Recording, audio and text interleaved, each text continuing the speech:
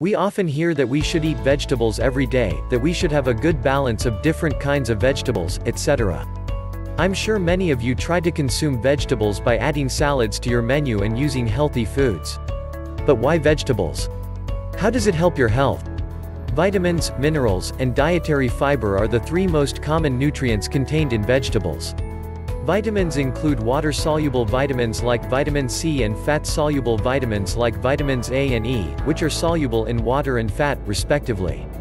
There are about 40 types of minerals, including calcium, potassium, iron, and magnesium, but only 13 types of minerals are specified. Much of it can be obtained from vegetables. When we talk about the function of vitamins and minerals, it is well known that vitamin C helps to produce collagen, calcium builds bones, and iron forms hemoglobin to transport oxygen and carbon dioxide. In addition to these functions, vitamins and minerals have an important job to do. It is to activate the enzymes. There are more than 5,000 kinds of enzymes in our body, each of which plays an essential role for life support. The two main types of enzymes are digestive enzymes, which break down food into a form that is easy to absorb, and metabolic enzymes, which use the nutrients broken down by digestive enzymes to carry out the metabolism necessary for life support. And as the enzyme works, it uses vitamins, especially many water-soluble vitamins and minerals, as coenzymes. In other words, enzymes can't work without vitamins and minerals. In addition, there are certain vitamins and minerals that correspond to each enzyme, so if a particular nutrient is deficient, the activity of the enzyme that needs it will be weakened. When weakened, the enzyme's work, such as its healing and repair functions, detoxification and immunity, can be compromised. That's why it's important to take a variety of vitamins and minerals, and by eating a wide variety of vegetables, you can get a lot of different types of vitamins and minerals. The third type of fiber is water-soluble and insoluble, and we get most of it from vegetables and fruits.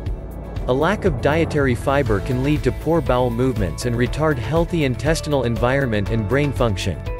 Lack of vegetables has been linked to disease and mortality. In order to retard disease, the target daily intake of vegetables for adults should be at least 350 grams.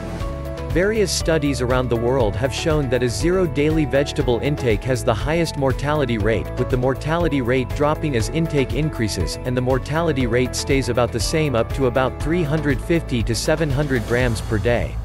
350 grams is one measure of how to stay healthy.